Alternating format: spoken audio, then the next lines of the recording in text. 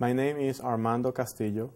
Um, I'm a physician. I have, I've been here for three years in the medical center, and I did my training in pediatrics in Macon, and then I went to do neonatology at Emory University in Atlanta.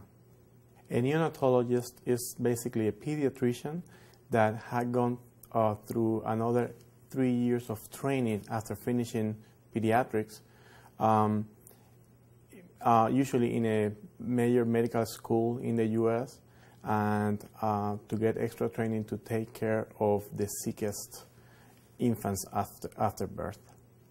Well, there are different reasons and many reasons.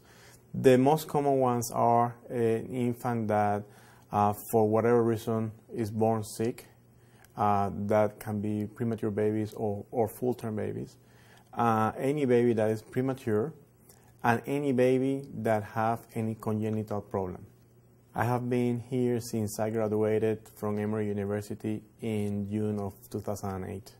Since I was in pediatrics, when I had to do my rotations in the neonatal ICU, um, I, I felt um, a strong connection with these very sick infants, with the challenges that you see in the NICU, um, and with the reward that you see after taking good care of these infants.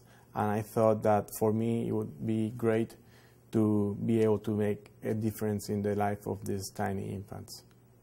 I really like, uh, even though it's very time consuming, um, but, in, but I feel lucky that I have a very supportive family and I work in, a, uh, in an extra, extraordinary uh, NICU with a great team uh, that I can be able to take care of these extremely sick infants, um, even though there are long hours.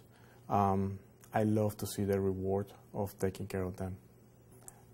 The fact that um, it's um, a unit that have an extremely well-trained team, the fact that I can, I'm able to practice cutting-edge technology um, that you can only see in major medical centers. Um, and the fact that it's the only designated level 3 unit in the whole northeast um, area of Georgia. I was surprised um, when I graduated from Emory University, which is one of the best 10 places to do neonatology in the world.